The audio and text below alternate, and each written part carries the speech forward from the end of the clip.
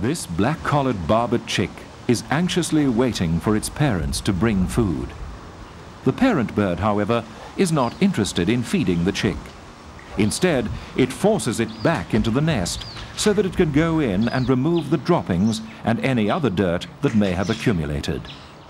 Breeding birds always keep their nests clean by removing the chick's droppings, which are either swallowed or left a distance away from the nest.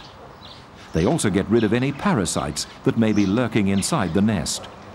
Here, an olive thrush is shaking the inner lining of the nest to loosen any foreign objects that have to be removed. The African hoopoe never cleans its nest. Not even the eggshells are removed, and it normally has a terrible smell. The hoopoe has been known throughout history as a bad housekeeper. In early writings, they were regarded as unclean, and their flesh was not to be eaten.